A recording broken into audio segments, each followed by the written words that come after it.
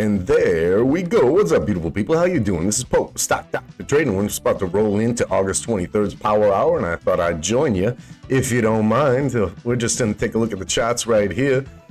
And I don't know if you guys have been trading all day, but we got ourselves a sideways for sure. But there's something really crooked about sideways, don't you think? Uh, you know, essentially we're we're pretty much close to flat on the day um, from where we were in the morning. But there's nothing sideways about that. This was well discussed as a heck of a swing trading day. So far, we're coming into the power hour, and we have to establish where we are. Right now, we are on the on the higher side of our range uh, that we've been trading for the afternoon. But if we go ahead, zoom on out to the three minute chart, you'll see that that range is still pretty much low on the day. You know, it's it's that 412.80 range. Um, seems to be the median spot for it, and it's been stuck swinging back and forth all day. Uh, so when I took a look at the other firm, the you know the big four, you know the Googles, Microsofts, Apples, Amazons, and see how they compare, right? Like, how do they compare to the SPY and the NASDAQ in terms of trading? You take a look at Google being up here in the uh, top right. You can see that that had some of the volatility, but it missed out on a lot of it. Um, the one dip that we see here that we don't see with all of them, right? So notice how we have every single one of the big boys has something in common, right? This big dip here, that's this dip here. This big dip here, right? And here, there's a way you can do this on uh, Webull. If you uh, go to the stop here and you just sync your crosshairs, right? You'll be able to kind of see every single one. See that? And all lined up with the same time. So you can see um, the thing that was similar with all of them was that Apple, Amazon, and Google um, had that first dip was big and major, right? And the second one, not so much. You know, referencing the SPY and the Qs, they had the two big dips during the day. Microsoft had a big one on the second dip, but not so much on the first one, where Apple, Amazon, and Google were a big driver of the first of those two swings. So what we're seeing right here, I think, is a, is a sort of pattern emerging on um, how you can drive the price of SPY. Um, basically, you've got these four, and you can use them to your advantage at any given time based on the flow of traffic and whether or not you want to uh, uh, send those those shares into the dark pool or a lit market uh, based on the trajectory you would like to have. So these type of swings on a day when everyone's expecting a lot of volatility and wanting to scalp is all about taking premiums for market makers. And um, that's what we've had right now. So right now being at 413.12, we have to ask ourselves what um, sort of range do we really expect to be establishing outside of what we're already in, right? So we just bounced off VWAP at 413 uh, right there. This is that white line right here on VWAP and it didn't show a lot of strength in breaking on through. Now we are on the up above, you know, more towards the above or upper band on the Nasdaq on the QQQ, and that's because the Qs are up on the day 0.25 percent, whereas the SPY is down 0.07 percent as of this recording. And uh, we know that's set to change. So, okay, that being the three minute chat, we want to kind of see where we're at, see what happened during the day with the big boys. We're going to zoom on into the one minute chat, try to start establishing an idea of where we might be able to make a little scalp trade. And in the meantime, in terms of news out there, um, not not a lot of the the juicy the juicy stuff that we'd like to have is is um, is rolling around in the news, but there is a lot of options. Uh, premium buying, and trading. Know, right now, one of the big ones that's trading off its earnings report is Zoom. Taking a look here, seeing that Zoom is down 16.23% to $81.64 per share off uh, earnings guidance that was not too positive. So they really cut their full year 2023 um, uh, guidance uh, as a whole. They're having a hard time monetizing. Um, off of the popularity, which is unfortunate. If you think about your company like Zoom, um, they took the world by storm when everybody was locked down had to stay at their house, and then we were all having to figure out how to how to Zoom call you. If they had executed that to be a less difficult process, I don't think we'd be in this uh, place that we are right now. But I think that um, people really didn't understand um, voice over IP um, in terms of turning that technology into a interface that's very smooth, streamlined, and easy to use. Uh, I think they could have used a lot of work there. To me, it was like just copying an older interface of Skype. And that's my opinion on, on Zoom as a whole.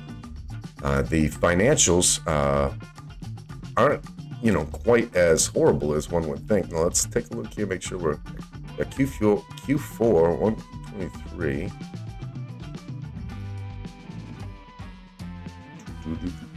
Now, did any of these expand to have larger? Not really. Mm-hmm. That net net income is going to hurt you. That negative 50% net income. What's Q1, Q4? Hmm, that's a little bit strange. Okay, so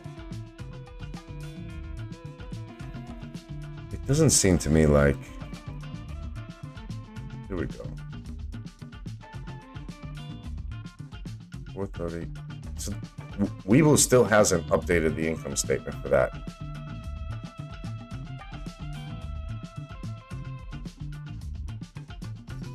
And that's one of my frustrations about Webull. Their news section is really, really terrible. Okay, still not finding that trade. I'm, I feel very confident with the levels that we have here, and I want to show you guys something about levels to help you, you know, get a an idea or perspective on there. And of course, if we're in Power Hour right now, so interrupt me anytime for any questions or concerns, anything going on with uh, your trading and um, you know education. Therefore, as such, that's uh, priority numero uno uh, but in the meantime, let's go ahead and take a look at this uh, investment right here. And I want to show you something on this SPY chart that you might find interesting. And it's a lot, you hear me talk about this a lot. It's volume profiling. And essentially, it's just putting volume instead of these candles underneath, it's putting them on the side so that the volume lines up with a certain price bracket. You can see those brackets right here. So you can see how much volume we have in, this is the five day chart at the five minute uh, frequency level. And look right here, seeing this volume profile, you can see that is why we're ranging out right here. That's why this support zone exists the way it is. And this is why uh, we can't seem to break out of this range right now. This is, for the past five days, uh, the largest buying zone um, that we've had. Now, the other zones are up here in the 427s, 426, 428. You can you can see a lot of the people who um, might have been bullish in that particular sector probably got their butts handed to them a little bit here. So we're now going to look at the same thing, but zoom out on the 10-day chart.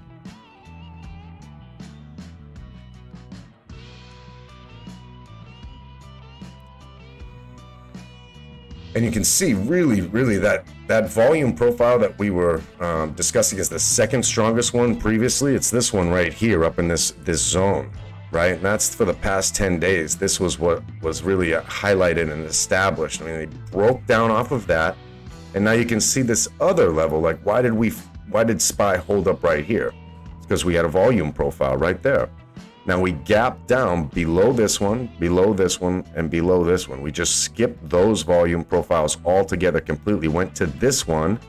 This is where yesterday we gapped down and we haven't filled that gap yet. And don't you find that to be incredible that this is where the volume profile is, you know, pretty much the least. It's not the least. These are the leasts, but the price only barely ever touched there. Um, these are volume profiles where it just basically fired up, gapped up, and create. And when it gapped up like that, it created a zone for them to land in, right? So, for example, if tomorrow they wanted to go bullish. If we started seeing a really um, bullish recovery from this uh, pullback, you'd see it in this zone, the 420 zone, right? Because that would be them uh, jumping back up to a gap. And that might be one they would pick. They could still go back, just go right back on up to 417 and still kind of rinse and repeat the same thing they just did to us um, for the past two days of trading. Uh, but they don't tend to do that. So now we're seeing that we're building a volume profile that's fairly significant here at the 413.25 level. Um, really just call it 413. And it looks like that's something that's going to stick pretty solid for the rest of the day at least. Um, when we zoom out to the one month chart, start getting a couple profiles a little lower. Now you can really, really see it here, right? So um, this was essentially another major volume zone. and we got out of it all the way to here. You can see that big volume profile. That was a lot of sellers right there. Right, and that brought us right on back to here, which is a major support slash resistance line. It is the purgatory between up and down, really. And you you you look the next closest volume profiles to us on the upside is the 422 when we're here at the one month chart and then all the way down here at 396 yeah i said it. Yeah i said it. Um, do we have too much in the way? Yes we have this entire range in our way. So we're at the 413s but we have all the way to 410 409 409 410 411 412 this is the support zone right now. So there's going to need to be something to break this down to really see it push too too much further, right? And we definitely have a little bit more room to the upside in general, right? Today being Tuesday, tomorrow being Wednesday, the first day after T plus two that the options from last week's Friday uh, weekly um, options um, expiration date uh, we'll be hitting everybody's accounts. So um, it looks like it could be setting us up. We're, we're not really sure. We still have 47 minutes left in the trading day.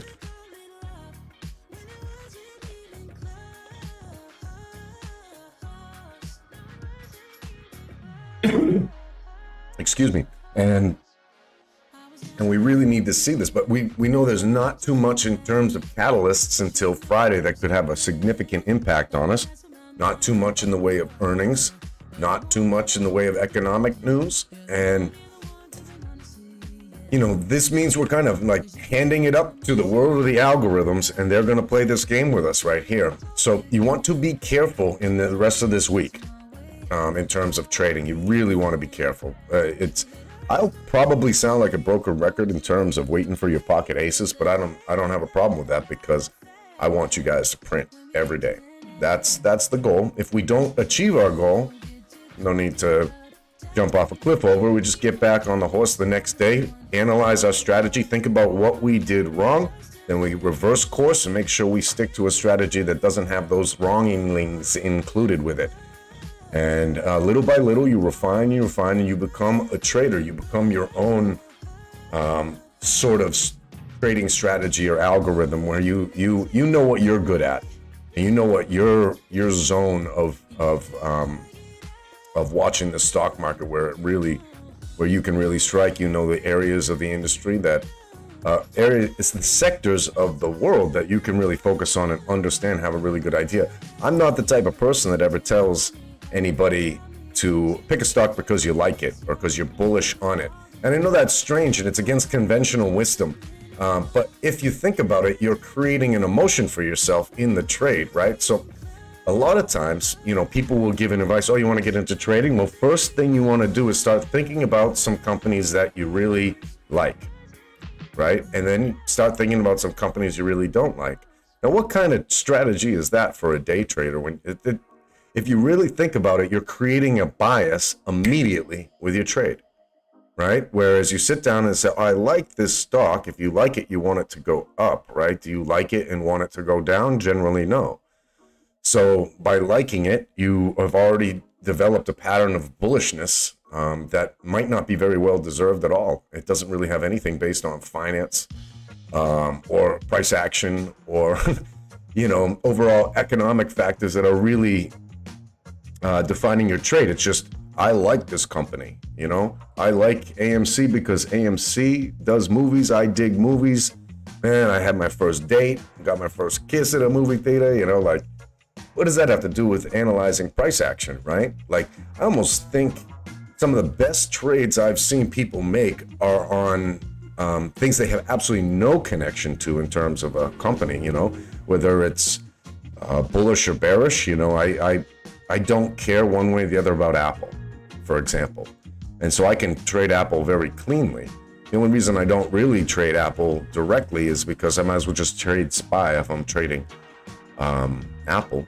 Uh, but you know, as an example, if another example for me is I am very comfortable with banks, and and I'll, I'll I have a really really good idea of when banks are going to shoot up in the long term, and I have a very good understanding of when when banks are going to pull back, and so that's my wheelhouse. Uh, you can see here if we're still make sure we're still on Fidelity. Yep, this watch list that we have. Over to the left here is my finances to short. I made this watch list and began it in November of last year, knowing what we were coming into um, for December and January for the banks. And I, I thought it was great because nobody shorts the banks because uh, the banks only go up, right? And there's only certain economic environments in which the banks really pull back. And one of those is quantitative tightening.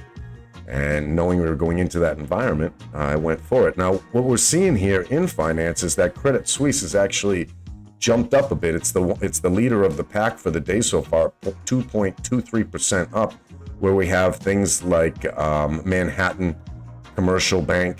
That's a commercial bank. That's on the list just to. There's a few of these banks here that are commercial banks. They're here to show the difference between how an investment bank might be performing on any given day as opposed to the commercial banks, right? Uh, the commercial banks are ones that uh, actually stand to benefit from interest rates going up because they're mostly they're the ones that are in the reverse repo program, making sure they've got enough money on hand to pay out the interest. Um, that is cash on when a client you know keeps their money in a savings account overnight. They got to pay an interest. That's a liability to the banks, right? So when the interest rates go up, they can stand to gain a little bit more. And really, the only reason that is because they have the reverse repo program to fall back on. Otherwise, this entire stock market would have crashed in April of 2021. And we wouldn't even be having this particular discussion because everything that's about to happen would have already been completed by now. And we'd be bullish and we'd be on to the next bull run cycle of maybe five years of that. But nope, we got to have a bunch of can kickers here that are just dragging this along and, and, because they think they can organize a soft landing with um, manufactured numbers. So here we are analyzing the market as it is. Now we see SPY coming right on back up, showing strength at 413.50 right now. That must be in the green. Let's pop on over to Webull, double check right here. Yep, and it's broken past that band of VWAP that you can see up there in the top left. That is bullish for now, and we have uh, 41 minutes left in trading for the day. So let's see what kind of volume we've got. It's a pretty decent amount of volume coming in on these particular candles right here. The range that we would be looking for this to fire up to is all the way up to the 414 where it will most likely bounce off and pull on back. And that's if it doesn't just sit there and consolidate boringly for the next 20 minutes as we roll into the imbalances for the end of the day power hour here. Now, if you guys don't know what the imbalances are, they are a list of stocks that neither either needed to get located and were um, mislocated or um, need to be uh, reallocated in terms of trading for the day. They're the mistakes. They're the, the fat finger discount uh, mistakes on the trading floor, those type of things. They come in. Sometimes they're very neutral, meaning there's just as many uh, buys as sells. Sometimes there's a very significant push towards a sell or a buy. And if you are thinking about getting into late hour trading, you want to know that 10 minutes before there's an imbalance coming in could really give you a boom boom candle or a ding dong candle any any particular time on that given minute and then five minutes later is when those particular trades end up closing and finishing on the on the uh, trading desk on the main floor and so uh, we are 30 minutes away from imbalances, 40 minutes away from market close right now, and we are Block Rocket Showstopper, and I hope everybody be clocking. Drop a little message in there, give me a like, let me know how everybody's doing, and if they have any questions, just let me know as well.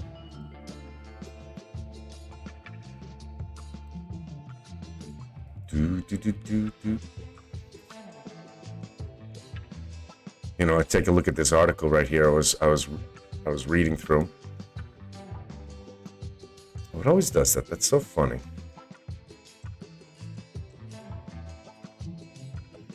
That's a finicky little, little thing that makes that blank out. All right, so I, I, um, there is an amazing YouTube video and breakdown of the PayPal mafia. And so I saw this what came of the Skype mafia, right? The people who made Skype sold it to eBay and and you know what came of them Skype being owned by Microsoft right now. I guess I just kind of like got into this a little bit after seeing Zoom. I was like, wow, nobody really talks about Skype anymore. Skype always does everything that Zoom always did. I keep a Skype number um, for the States while I'm here in Costa Rica. And I've had that every year. That way I can make any calls in the United States, have a US number, that type of thing. So I've had Skype for at least 12, 13 years now. And I pay, you know, I think once a year about 80 bucks to be able to call anybody in the States anytime I want to, have my own number. And I just was kind of curious. But this story brings me up to one of my favorite stories. And perhaps this is something we could get into in um, after hours. Maybe we'll have a little viewing party and watch that. But have you ever seen who came out of making PayPal? One of them, you might know him. He's the richest man in the world right now. Um, but there's a really good video about this if you guys ever want to watch it. I, I think we won't sit down and watch it together because it's a little bit off topic for us at this channel. Um, but it looks like there's a wiki uh, wiki page for this, um, and I think you're going to love this. Called the Traitorous Eight. Wait till you see, excuse me, wait till you see what these people at PayPal went on to do with the rest of our internet. It's quite amazing.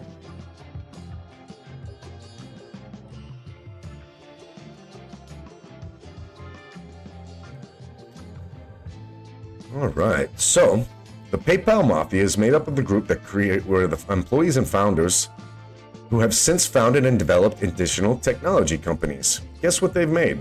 Tesla, LinkedIn, Palantir, SpaceX, Affirm, Slide, Kiva, YouTube, Yelp, and Yammer. Yammer, I don't know. But can you believe that? Like you can see, this is a, a just a blockbuster list. So even they didn't even mention Reddit. Uh, Yishan Wong, former engineering manager at PayPal, later worked at Facebook and became the CEO of Reddit. How about that? You know, like we got everything. So that's everything right there. We've got eBay involved in this. We've got Reddit involved in this. We got um, Facebook tied in there. We have people that are um, the the Founders Fund have you ever heard about this venture capitalist firm? Um, let, let's show you what they've done. And the founders firm, this is YouTube, was built by PayPal people. Um, obviously, Elon's got the Neuralink, OpenAI, the Boring Company, Solar City, Confinity, Tesla, X.com. His favorite purchase of his entire life was getting X.com, I think. He's never been able to properly brand it. I think uh, is that what's is that where he has SpaceX now?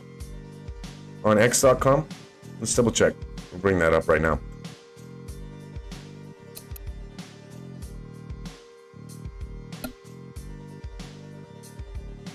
Okay, so while those two little data points are loading, um, looking at this, I mean, these guys are the backbone of the Silicon Valley, really. Uh, PayPal basically built the future of our internet because, you know, when you think about all the other impacts these things had, I, I see it as incredible. Uh, what a hell of a group. All right, now I want to show you what Founders Fund has done. Let's show you some of the things that they've invested in. All right, uh, Founders Fund uh, something created by the PayPal Mafia, has invested in Airbnb, Lyft, Spotify, Stripe, and Oscar Health. Also was helping out Elon with SpaceX, Palantir, and was one of the earliest investors in Facebook. The firm's partners was Peter Thiel, Ken Howery, and Brian Singerman, and have been founders, early employees, and investors at companies including PayPal, Google, Palantir, and SpaceX. Palantir being one on this list that I think is very significant, but we don't actually quite know why. I think Palantir is going to be a really large and renowned company one day. Oh, it's trying to go to the wiki for x.com. Okay, we don't need that.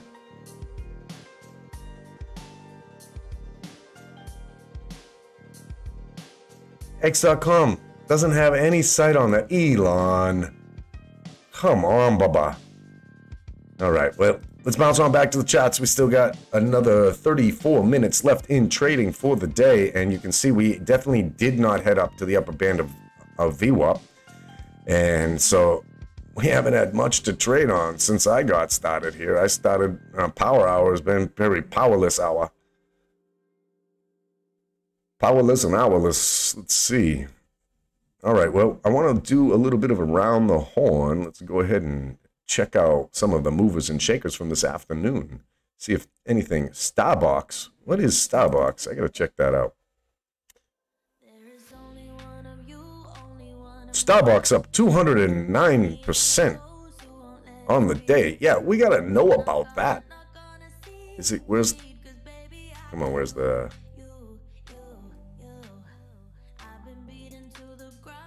hmm, why aren't they giving us all the data. I need market cap over here, people. All right, well, it's not giving us market cap right now for some strange reason. And it's not giving me the same. So anyways, let's go ahead, bring up Starbox. This could be something you guys know a lot about that I don't. It's up $8.15 on the day. That means it was just tangling with penny stock lifestyle. We're going to zoom out to the daily chart and see what we've got on this baby. It's an IPO. We're going in on the four hour chart, and we don't have much more than we even have two days of trading. Nope, just opened up today. All right, so let's find out what Starbox is, people. This thing ran, oh my god. How's this possible? Hmm. How is it possible that it's up 214% on the day if all we have is just one day of trading and this is the all-time low on the chart. Hmm, all right, let's zoom in.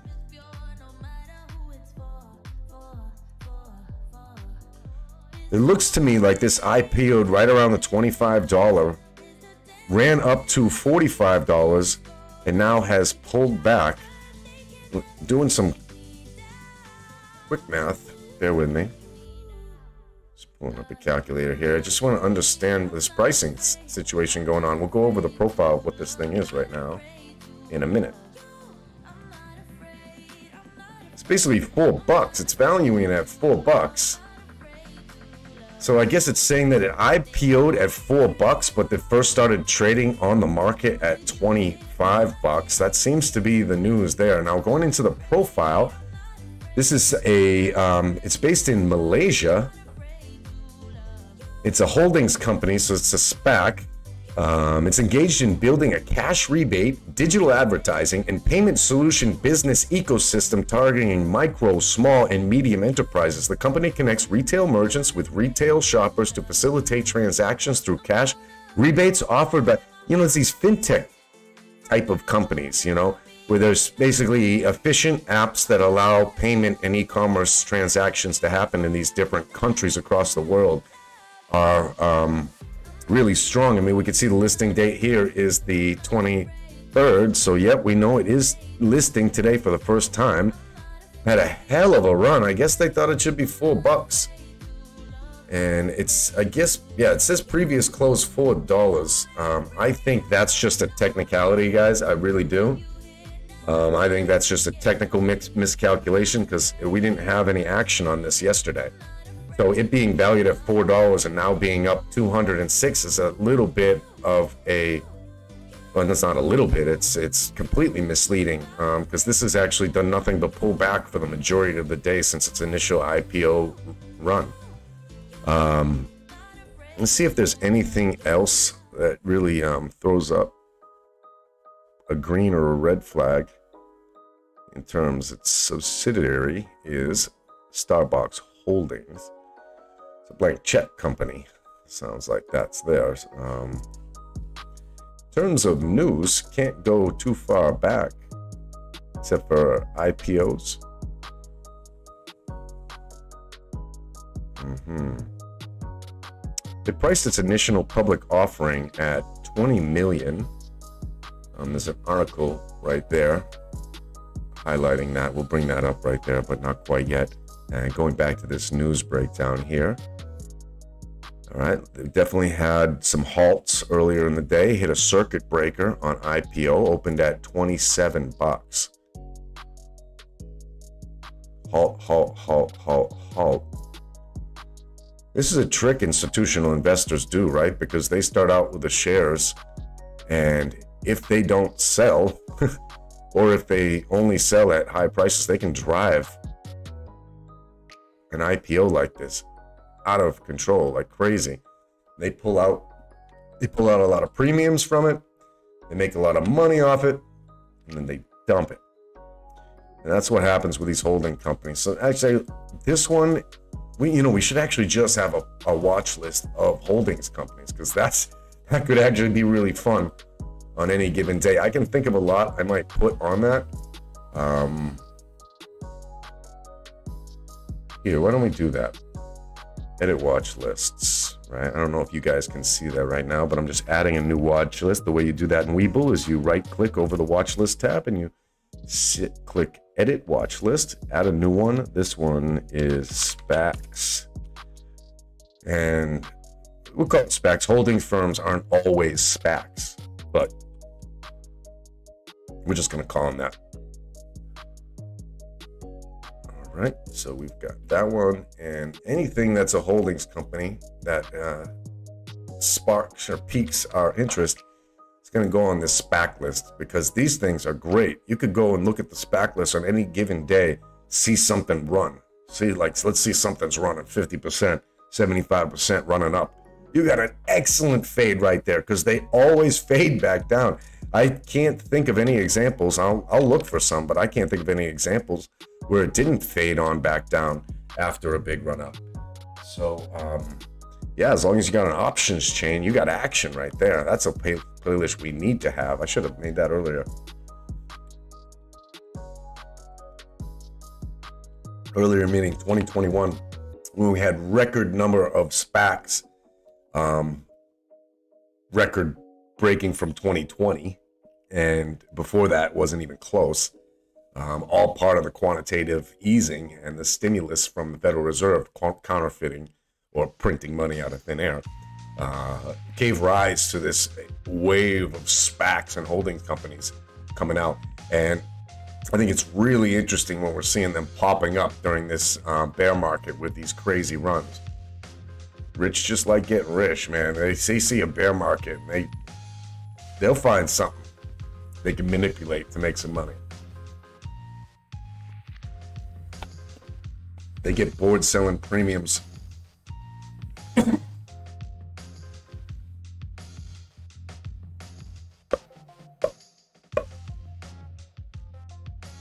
All right, zooming on back. We're getting on to the one minute chat. We've got um, Neptune Wellness, Windtree Therapeutics, Indonesia Energy, Reviva Pharmaceuticals, and AVYA, Avaya Holdings, another holdings company running. We're going to double check what kind of holdings company. We might just get them right over, over to the new playlist, too. Why the hell not? We got to watch it. So its pre market close was 80 cents. Now it's run up to 109. This is a, a super penny Stock Digital Communications products, solutions, and services for businesses. The company operate. These write-ups are just so clearly like, yeah, we we're middlemen that don't do shit, but we got money. So call us. uh huh. That's what that one looks like to me. So, yep, going on the SPAC list. That's kind of like low tier SPAC. You know, that's a penny SPAC. So it's already it probably had its butt kicked. Zooming out to the day chart. Oh, yeah, look at this thing. Look at this. Well,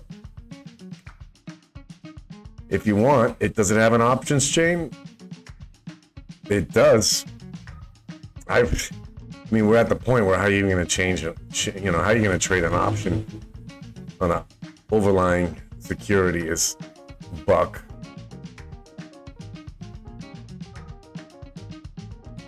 But yeah, yeah, that is heavily manipulated right there. It's actually been running from 70 cents all the way up to a buck 12 over the past two days. What was happening before that? Uh-huh, uh-huh, uh-huh. It established so it's it's doubled. It's essentially doubled in one, two, three days. So whether you like this thing or not, I could double your money in three days. Who's gonna argue with that, right? All right, zooming on back to the one minute shot, getting back focused. We have 23 minutes left in trading for the day right now. And I've been pretty happy about all my no trades so far uh, in Power Hour. Um, I, Power Hour is a great time to come together and review um, what's happened during the day um, and help anybody out with any trades that they're stuck in. Uh, you know, where you do get a little bit stuck, it goes against you, then you're like, all right, I'm going to ride this out, starts coming back into favor. And uh, for an average day trader, you're just basically trying to clean up, clean up any um, any trades that you've done and look into the future as to what you might be doing tomorrow. Um, I'm unless I see some sort of major change from what we have right here. I think we're in this range for at least another day. Um, and that range, let's establish that range for this discussion, right? I'm going to say it's 411 to 415. All right. Um, I really want to actually give me a little bit of stretchy room on the bottom side. But we're basically going about uh, 2.5 points of the SPY in either direction. That's that standard deviation for the day, um, which is a little bit bigger than what we have on our VWAP bands right now. Uh, but just based on those volume profiles that we take a look over in, in on Fidelity, we looked at those earlier you can see it. I think we're going to be in this range for a bit. Let's see, we're breaking on down from it. Might, if we are in the range, then we might be looking at an awesome opportunity to go long for a little bit of a trade right here, where as we approach the bottom band of VWAP, I we're going to wait for confirmation. Always make sure we're not, and we're going to zoom in on the 15 second shot we're still we're looking at VWAP, right? And we're gonna see if we can get to the lower band of VWAP. If we can, I like that setup. It gives me the opportunity to watch it. It breaks past 412 um, 45 after tapping it. Then it's a confirmation that this is uh, still bearish. Um, I'm thinking most likely what we're going to see being VWAP and lower band, we can get down to this 412.45, maybe 412.50, you could call it. Uh, I think it'd be 412.45, and then bounce right off that, and we'd have enough room to go from 412.45 up to what would be then 412.84. Less than 50 basis point swing, right? So the only way that risk to reward for you is really going to be all that worth it. If you set an extremely tight stop loss, and after a day of trading sideways the way we have, um, there's nothing wrong with that. You're you're taking a shot at a couple trades before the day ends, but that doesn't necessarily mean you are gonna go hog wild for your 100% gain at this point. You know, we're gonna need some catalysts. We're gonna need some volume, something like that to come in to change the fate of this day. Uh, right now, we can't just keep ourselves.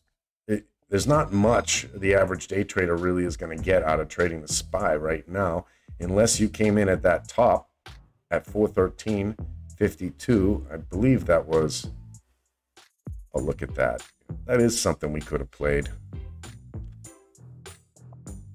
That is something we could have played.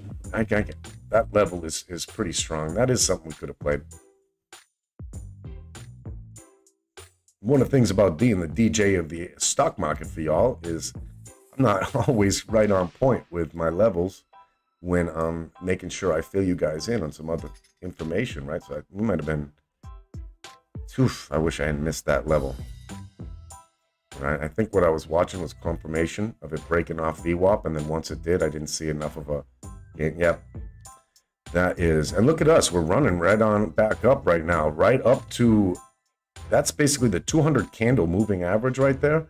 Would be the 215 second moving average. We're gonna zoom on out and see if that how significant that level is.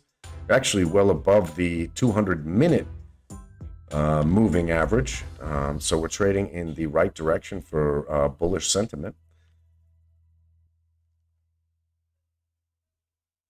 And yeah, I do think you could get a little trade in there. See where it is.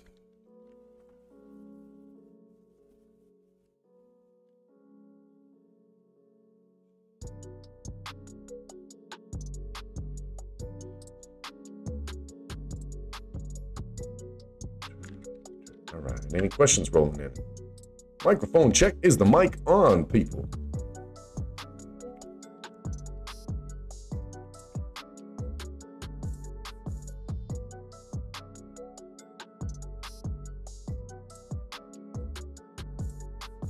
Okay. Boy, it really wants to range out there. All right, well, it's going to give us a moment right now to go back over to top losers for the day. Uh, Golden Sun Education We Trade Group. Oh, that's the one we wanted to get onto our holdings list. It's this one here. Wasn't it? No, We Trade Group was the one that was partnering for that pandemic monkeypox testing. So that's a different one. No, let's let's get that out. That's don't want that over on top of the SPY. All right, we're to go bottom, excuse me, top right for the top losers as we review them.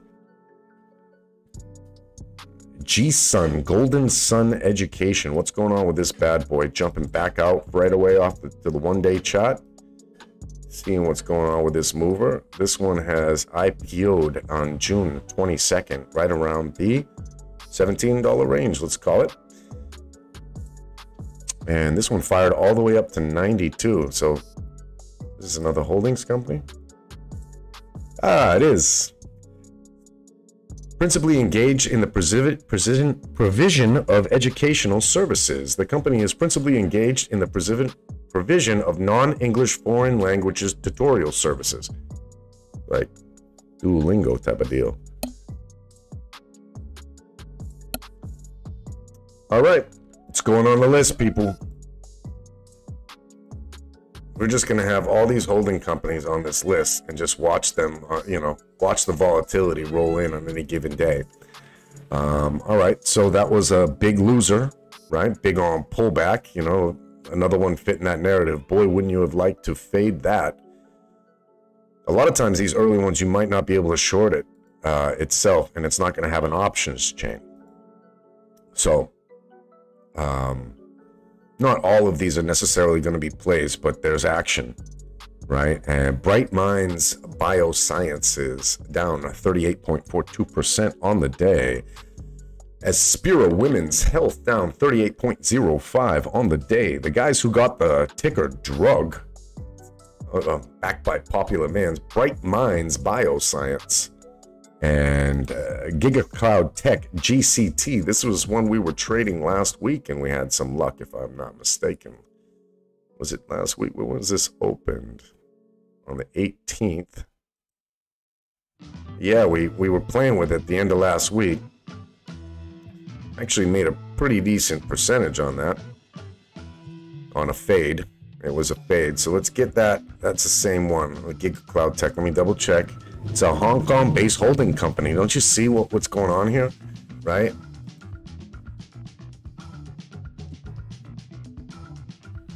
People with too much stimulus money and just trying to figure out what to do with it. This Genius Group just keeps coming up, right? We saw this as a big old runner on the 19th last week. Big runner up. Check these things out. So we had MACD convergences. Wow, look at that. That's pretty cool.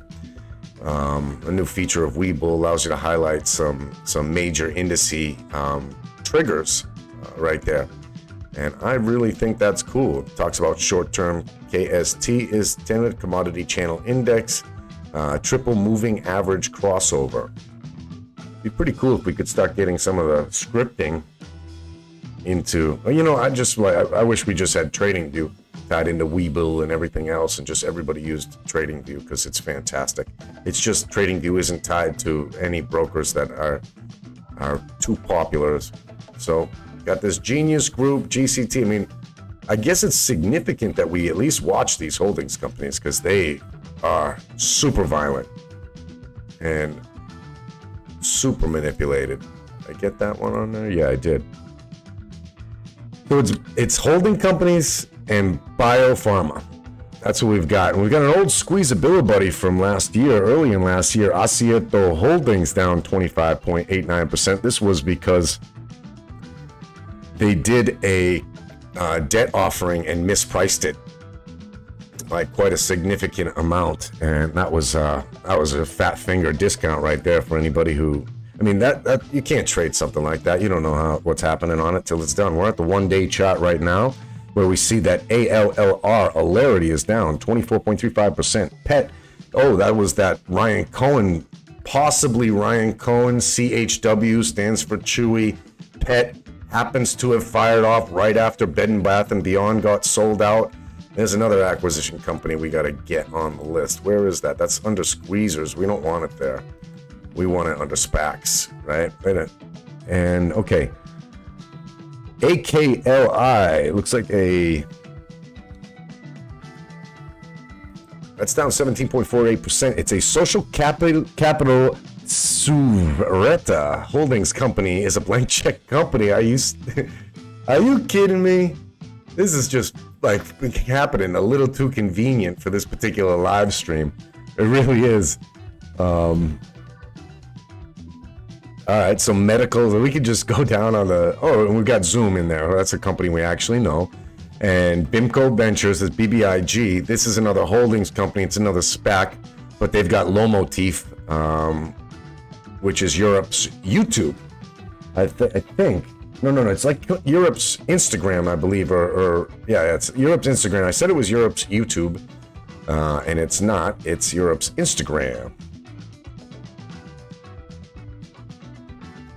Forza X1 is a focus on the creation, implementation, and sale of electric boats. They're down 15% on the day. What happened? Was that earnings? Hmm. With a partnership five days ago, sometimes a partnership can mean one partner is going to take on certain liabilities while the other one profits. So you can see a partnership or a merger bringing the share value of one down while it, it raises the other one up. That's the market um, um, trying to price locate where it should be after a big change. Innovative eyewear, Lucy. No news, down 14.69%. Well, they're probably competing with Luxottica in one way or the other, which means they will be thwarted soon enough. All right, so we've got that right there. Uh, I had some data here on Starbox Holding Group. Uh, let's just bounce over. It was one of the top movers um, from this afternoon. Hindsight production. Nice to see the consistency. Yeah, absolutely. That's the number one key to really like locking down this stream is, uh, you know, getting all my production aspects together and then getting the schedule down and being a part of that schedule, committing to it every single day. Absolutely. Thank you, brother. Thanks for noticing. Oh, shucks.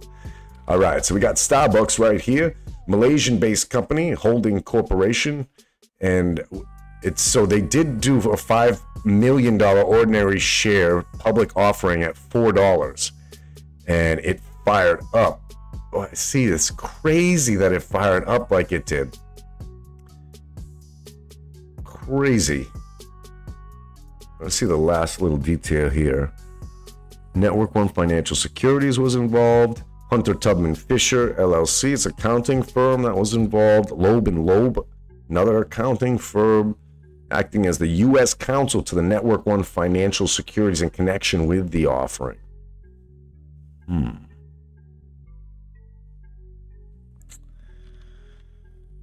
Ooh, I don't know what to make of that one. Other than I know it's fading it back really soon. It's gonna be have it's gonna be a fade. And oh, I apologize. I didn't bring you over to that as I read it, but that's okay. It wasn't too exciting to watch. Could be resolved. Feeds. Dow Jones. Yeah, sometimes those feeds break. I've noticed that they're not always readily available.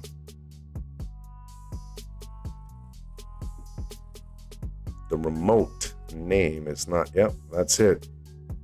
Feed's breaking.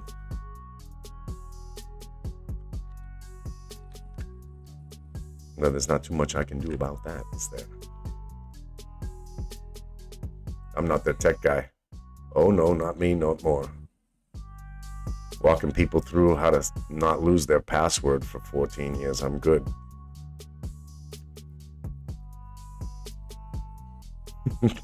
Everybody loses their password. 25 years we all been deal with passwords. People still lose them. Every day. Crypto's holding strong past couple days. Just kind of consolidating in on that range.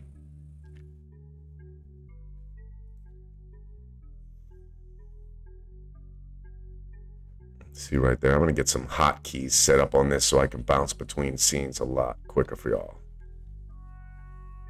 All right, bring us over to Fidelity. See, we broken down heavily off of that major profile volume right there. I want to bounce us back to the Webull charts. We've gone over top losers and top gainers. We're on the one day chart right now, zooming on into the one minute chart. That's giving us a lot more detail right now. Imbalances came through and gave us that big ding dong candle, right? So look at this. I'm going to guess this is the 450 right there. You see that one? See that candle right there? That's the imbalance candle, right? Now it's one more, one, two more minutes, and this will go through the trading desk. So this is what we tend to see, right? If it's a imbalance to the negative, we'll see this little ding dong come on down. And by the time it's about to hit the trading floor, right? We're on the 15 second chart. That's why we got so many candles here. But if you even go into the one second chart, you probably have a chance to see that significant volume rolling in. See? See right there? All at once, right? Right at the one second, all at once, right? So that creates a momentum shift immediately. And every time that happens, is a momentum shift to it, right? And you need to know what that momentum shift is and where it's going. A lot of times, whatever gap happens will get filled by 30 seconds from now. All right, again, we're on the 15 second shot right now brought it back. We just went over the imbalances. We can still, it filled the gap from the imbalance. We're going to the floor now where the trades from the imbalance have occurred, reoccurred, go through balancing. Now um, the trade floor confirms, finalizes before the end of day that everything's right there. So if anything hasn't been taken care of in the imbalances at this five minute mark, that will get fi- finalized at the end. So usually this five minute till close mark isn't that big of a deal, but it can be for the same exact reason. If they're having a t- hard time either locating or um, getting a, a, a, complete fulfillment, and and for whatever reason they can't do it through a dark pool at that particular moment, you can see a spike up at that five minute. But really, the big one is to see that 10 minute before market close, see if the imbalance is heavy to the sell side or the buy side, and then you're going to get this kind of swing. It tends up to not be something that you can really play too much for long term stuff, but what it is is an excellent entry point. If, like, let's say um, you're bullish on tomorrow and you want to, you know, grab some faggy diesel um, options and gamble that uh, it's going to gap up and fill the gap from two days ago tomorrow. You'd want to do that with an imbalance to the sell side that would give you this opportunity to get a price you really most likely won't get for the rest of the day down there at the 412.16, right? So that's one of the things you want to know about it. It's fit completed. That's completed now. 412.50 is our level um, on the day. And as we wrap up this day, which is about 0.21% down on the day, we're at the lower band of VWAP. We've got four minutes left. And I'm glad we had a really good example of an imbalance. Yesterday's imbalance was not that significant, so it's a little bit harder for you to see it. Uh, but when you get in on that one second chart, you very well can see it. So that's a that's a trading event of the day. Other trading events are like at one to 1:30 is when the repo program um, completes, and as well as the reverse repo program in the afternoon. There's a lot of significant volume that can roll in after 1:30, um, or at, well after one o'clock or into 1:30. People used to like to call that just people getting back from lunch, um, but it wasn't. It was market mechanics. Always has been.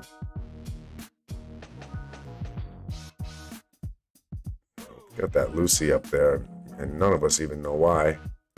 So let's switch that up and see how Ape's doing today. I know the AMC's down, but Ape has been up on the day. Let's see if it's holding. Oh, that's that's not Ape.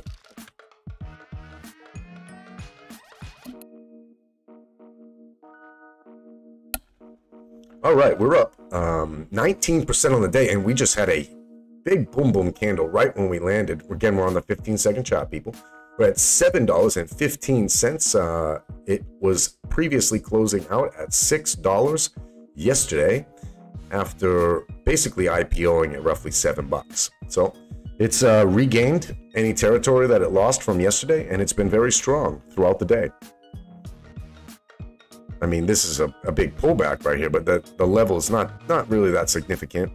Um, actually, let's measure it out. I think I might be speaking too soon there. I want to measure that one.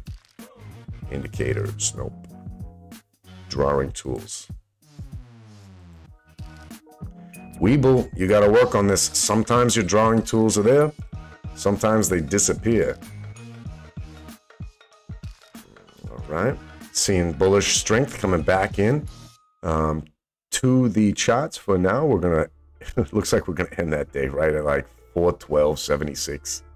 Look at that. Let's see. 412.57 right now. Or is it gonna just end right on on the lower band of VWAP? We'll see.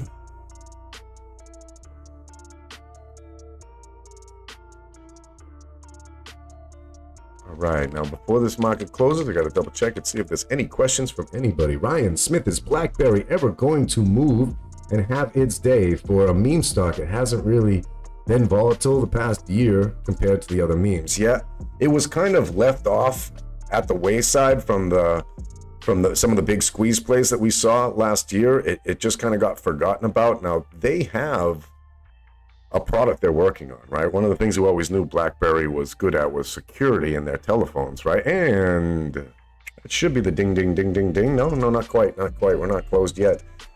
Um, double checking yet. We pulled back quite a, quite a little bit. Still at that um, SPY range right there. So let's bring up um, BlackBerry. The only way I think they're going to start getting any movement is if they if they start um, this new product that they are have been trying to work on for a little while. It's a partnership. I believe there's some aspects of China that are involved with it. It's barcoding right now. You can see um, it's dead. Yeah, it's it's. Let's do a little research here. Let's get into it. We know the financials aren't so good. Releases. Mm, insider trading notes, order flow is there.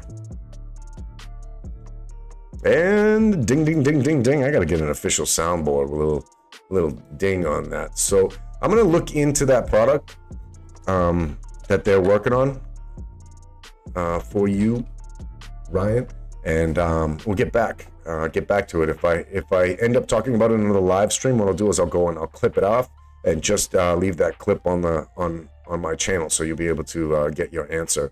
Um, not that that was what you were asking. Yeah, it BlackBerry's been forgotten about, and and that's from the shorts as well. But I think the shorts kind of understand that there is a, a long-term thesis to to BlackBerry. We just haven't seen it uh, come to fruition. So I'm going to do a little research, double check on what it is on my rusty old brain that I'm forgetting right now. And what we said, what made you pick Webull over TOS, Tasty Trade, etc.? Hmm, that's a great question. See, like I I haven't had a good experience with TD Ameritrade at all. So I like Thinkorswim.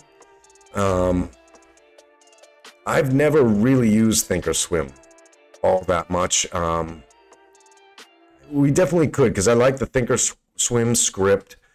And obviously, it has paper trading as well, but you can't bounce back and forth between paper trading and live like I can with Webull.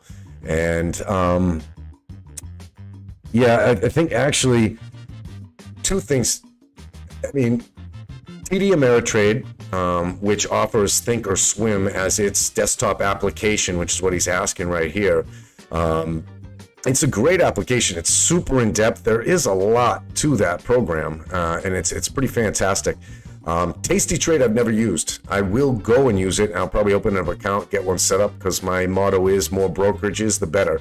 Um, uh, but I've heard a lot about Tasty Trade. Um, I'm I'm old school, right? So I'm doing fine with with uh, Fidelity. I've had my TD Ameritrade account for 15, 16 years, and yeah, I there's Thinkorswim is good. It is a good tool, uh, but I think it it kind of keeps you within an ecosphere that for me doesn't let, help me bounce around enough. And if I'm gonna look at something ugly, I might as well just stick with the big boy on Fidelity for that. You know, um, TD Ameritrade being one of the largest payment for order flows. Look, what is this boom boom candle we're getting on Amazon? You guys see that? Is that just a stop loss? Oh, there's some some real volatility sneaking into Amazon right now. Uh, it looks like stop loss hunting. Can you guys see this right here? You see what's going on here? That's stop loss hunting.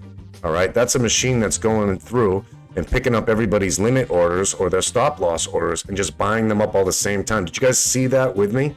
That action? That's that's one of the first times I've been able to get that on tape and so and, and sit with you the group on it. I think it helped that we're on the 15 second chart to kind of see it, right? But that stop loss hunting is mm, it's a kind of a practice. I just I just find a little bit evil.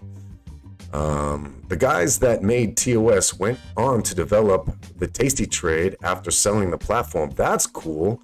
Now I'll check this out because I will get into Tasty Trade myself. But um, how much of the tools that you have in Thinkorswim? Uh, so the Thinkorswim sold that that tool over um, uh, to TD Ameritrade, um, if I'm understand if I know this timeline correctly and then they went to make Tasty Trade. That is cool. I want to go check it out. I, do they have a scripting language within Tasty Trade?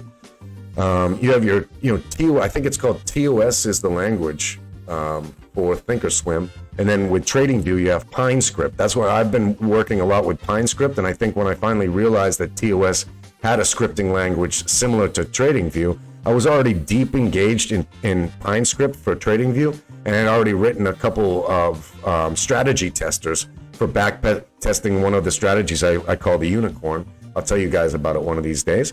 And um, so I think by that point, I just got so heavily involved, and then I saw what TradingView is really working to do. And they're not a brokerage, obviously, it's a platform, but it's their ideas section with your ability to post. I mean, I really should be using just TradingView to be honest. If uh, you know, because TradingView is an excellent place for accountability when you make a call out. Right. Anytime I can create an idea on TradingView, that idea is essentially a a a, a call out that I might want to make, and then you can go back to that in a day or two, and you can check it out. You can hit the play button and see, you know, if it played out the same way or if Stock Docta' was wrong. Excellent for comp- accountability. We need more of that and not a criticism, just curious since it seems like an unusual choice. I haven't used Tasty Trade, so I can't speak to it. Heard good things though. You know, I like how Webull looks. and I like how some of their modules um, connect to each other. Webull is essentially um, uh, a an app that was built on the Apex Clearing uh, module. So Apex Clearing uh, a, I have a lot to tell you guys about what Apex Clearing is. Essentially, it's the new version of Lehman Brothers. Pause. I'll tell you more. I'll prove it one of these days, but not right now. Um, Apex Clearing being the number one payment for order flow company, the one that works with Citadel, works with Robinhood, is at the as the base foundation for this. Now, um, when I was working with a, a, group of people to establish a broker dealer uh, last year, uh, we ended up meeting with Apex Clearing, and I was able to um, sign an NDA and get in on their API. And it's unbelievable. All right, the, like what they've done with their API at Apex Clearing is so impossible to compete with because what essentially what they've done is let's say you you're going to run a, a, front office back office and a client facing portal for a brokerage house you want to you want to start your own edward jones or something like that apex clearing will come in with modules for every single aspect of the back office account receivable receivables um, tickers real-time data transfer security like layers of modular modular attachments within the API, and you can just create a plug and play brokerage house from Apex Clearing. So I find that incredible. Um, and I will, but oh, the Apex video, I've been waiting. I've been waiting until I get a, a couple more people watching me to really, really break down who Apex is. For you guys watching right now, I'm going to give you a, the short but sweet um, just for y'all. All right, don't tell anybody because I still got to make more of this. But essentially, Nomura Holdings, which is a Japanese based company, went about buying up a lot of uh, uh, troubled financial firms in 2005, 2006. When September 15, 2008 happened, they ended up buying the European and Asian branches of Lehman Brothers after it was dissolved. That was Nomura Holdings. In 2017, they bought the State Street Bank Dark Pool and Apex Clearing, which used to be called Compu. Computel or CompuServe was the initial foundation of the developers that made the API for Apex Clearing, right? So Nomura comes in, buys old pieces of Lehman, throws in a State Street dark pool, grabs the engineers from CompuServe. That name is not correct. Um, I'll get the right name and um, bottles this under a Japanese company named Nomura. Now, every time you see Nomura in the headlines, I want you to remember that's Lehman Brothers 2.0 right there. Truth is, finance as a whole is an incestuous business. All right, we have um, firms right now that will go out of business that have been reestablished over the years because they went out of business previously because they cheated a bunch of people, had to change the name right? That's all we really are is a bunch of people changing our names and going to work doing the same bullshit at a new place. That's the finance as a whole. So if I were to go back deeper and darker and further into Nomura we start seeing um, some of that economic warfare we have between the Western powers of currency. So Japan was one that decided to go in the opposite direction of us in Europe, right? They decided to hyperinflate their currency and ride the tide because they still could piggyback off us and um, just basically um, uh, insource our inflation because it looked a lot better than their hyperinflation. So um, there has been so much trickery and fuckery going on. Wow, I didn't think Lehman's corpse was still knocking around. It is, man. You'd be so surprised. Um, it's not the only way that when I tell this story, I want to tell you guys about my experiences in within finance. Like uh, one of the stories um, I thought was extremely ironic in terms of uh, the incestuous nature of, of finance, right? The first firm I ever worked at was Putnam Investments. And the second firm I worked at was Manulife Financial. Uh, the HR representative that hired me two years earlier at Putnam was at Manulife Financial, sat down in the interview with me when I was at Manulife Financial applying for that job. She goes, Oh, I've already hired you at the last place. You're great. Come on in. Hires me at that job too. Um, so that kind of tells you a little bit about how it is. And I worked at seven different finance firms during my six six and a half year uh, career in finance, and that tells you a little bit more, right? Seven different firms over the six year period of time, and I was a uh, mover and a shaker. right? Um, some of those were were temps because right, right right around 06, you know, like like that's when I was working for like Fidelity or a couple other things that were like temp jobs because the market was so dead that even highly highly skilled fund accountants, traders and stuff were sitting there like like the the way finance was so weak at that point, like they wouldn't take anyone on other than temps. They just wanted to be able to get rid of you as quick as possible as they came up. So that was when I started moving on from finance because I was like, well, you know, I, it, you've you've raised me up to be this kind of guy in finance who understands this certain level. Then you, those jobs pull back, and here I am ready to, uh, you know, to to continue to grow my career. Um, but finance as a whole, there was no jobs available that way. So then you go, okay, all right, cool. Well, two years ago, I did this other job. I was dope at it. I got a bunch of uh, pay raises that moved me into this direction with it.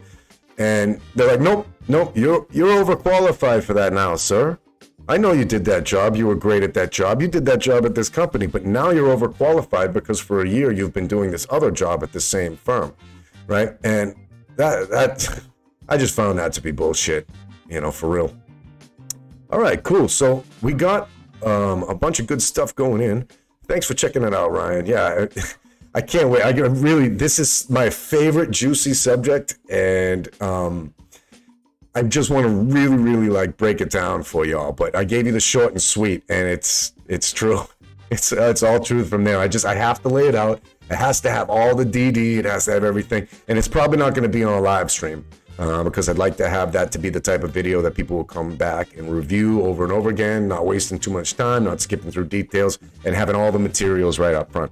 Uh, but yeah, we got a lot more to talk about. I can't wait to. Thanks for the tasty trade. That's what I'm. Uh, I'm going to look into that right after um, we get off this live stream, which I have to cut it short today.